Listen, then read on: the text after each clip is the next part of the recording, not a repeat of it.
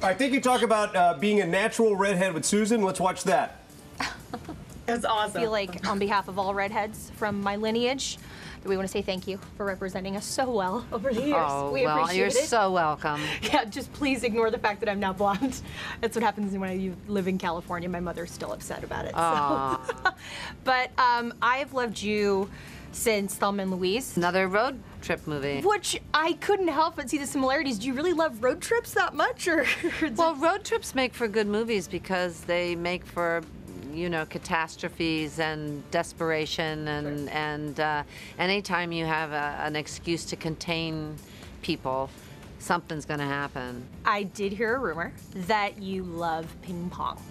I actually own a ping pong club called Spin, which is also in Toronto and Dubai and LA, and hopefully will be soon to other cities. And uh, we've been open now for five years. Wow. And I am a ping pong propagandist. I am not that great of a player, but uh, I love that you know little girls can beat their dads and skinny little boys can beat the muscle guys.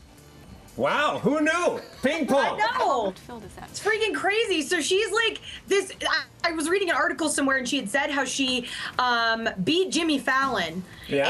and like they had this entire you know ping pong off or whatever. So she's just you know.